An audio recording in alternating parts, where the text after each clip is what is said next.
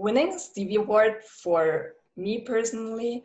and the organization I work for, the MMK agency, and also for our client, the Deutz AG, means um, yeah means a huge recognition for the work we've done, for the effort we placed in the project,